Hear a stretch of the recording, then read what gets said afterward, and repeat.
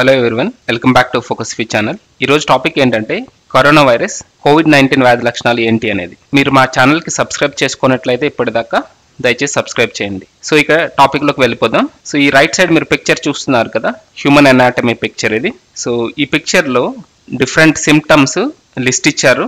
ఇంకా ఏ ఏ సిమ్టమ్ ఏ ఆర్గాన్కి చెందింది అనేది కూడా మనకి ఒక లైన్ ద్వారా పాయింట్ చేస్తూ ఇచ్చారు. సో ఫస్ట్ కామన్ సిమ్టమ్స్ అంటే ఎక్కువ మందిలో ఉండే సిమ్టమ్స్ ఏంటన్నది చూద్దాం. So first the fever eighty eight percent of the పీపుల్లో fever ఉంటుంది. నెక్స్ట్ ది డ్రై కాఫ్ అంటే పొడి దగ్గు ఇది సిక్స్టీ ఎయిట్ పర్సెంట్ పీపుల్లో ఉంటుంది. నెక్స్ట్ ఫటిగ్ ఇది థర్టీ ఎయిట్ పర్సెంట్ పీపుల్లో ఉంటుంది.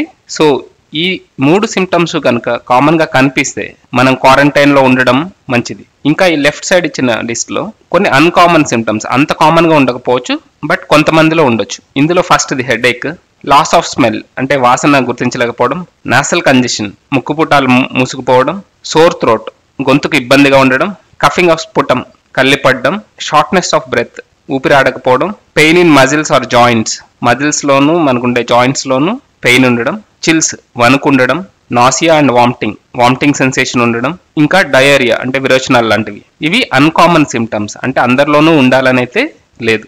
ఇంకా రైట్ సైడ్కి వస్తే సివియర్గా గనక డిసీజ్ ఉన్నట్లయితే వాకింగ్ డిఫికల్టీ ఉంటుంది కన్ఫ్యూజన్ ఉంటుంది ఫేస్ ఇంకా లిప్స్ బ్లూ కలర్లోకి మారచ్చు దగ్గినప్పుడు రక్తం పడవచ్చు చెస్ట్ పెయిన్ అనేది కంటిన్యూస్గా ఉండొచ్చు బ్లడ్లో వైట్ బ్లడ్ సెల్ కౌంట్ తగ్గొచ్చు కిడ్నీ ఫెయిల్యూర్ ఉండొచ్చు ఇంకా హై ఫీవర్ ఉండొచ్చు.